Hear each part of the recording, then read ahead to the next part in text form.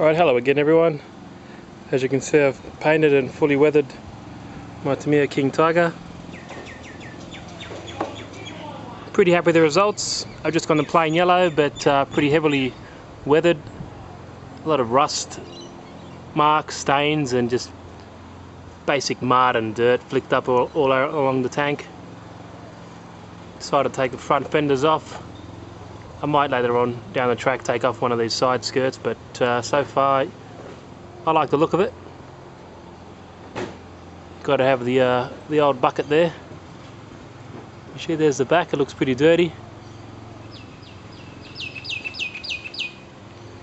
The engine lid. Top of the turret. So I'm, I'm pretty satisfied with it. Pretty happy with how it turned out uh, let me let me know what you guys think in the comments.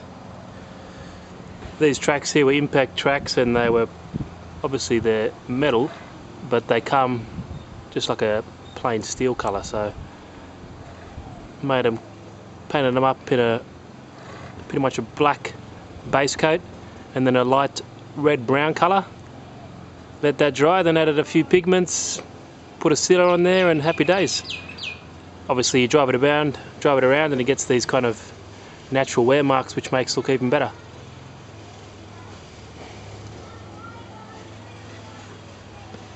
I'll lift the back up so you can see a bit better.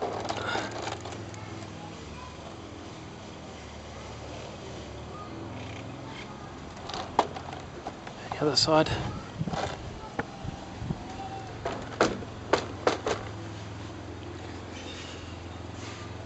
There you go so yeah.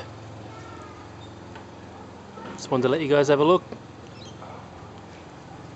Especially a lot of guys on the uh, World Tank Facebook page have liked my tank which I'm very appreciative of and uh, this little video for you guys. Cheers